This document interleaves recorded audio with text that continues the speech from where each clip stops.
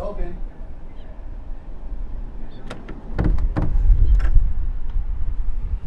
Hey, it's been a while. Come in, have a seat.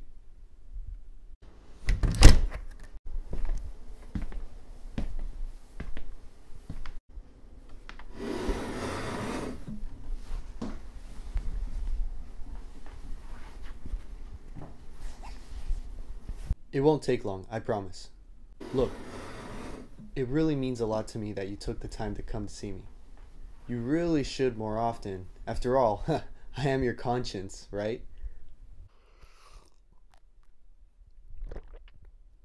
I know what you're thinking. Ha! Not just because I can read your mind, but I can see it in your eyes. You want friends. I know it's fun to hang out with those people you want to call your friends.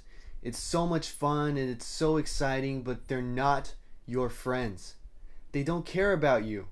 They don't.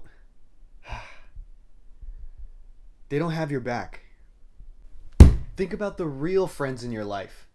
Think about the people in your life that are always checking to see how you're doing. The ones that fuel your passions.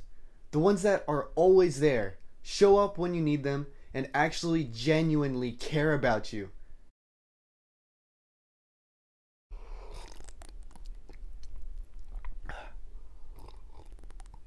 I'm sorry, am I wasting your time? I've had enough of this! I go through so much pain because of you!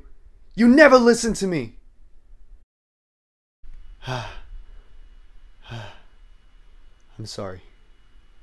I I kind of lost it for a second.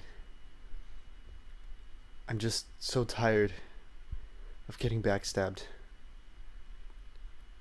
Please. I hope you can forgive me. Maybe it's time for you to leave.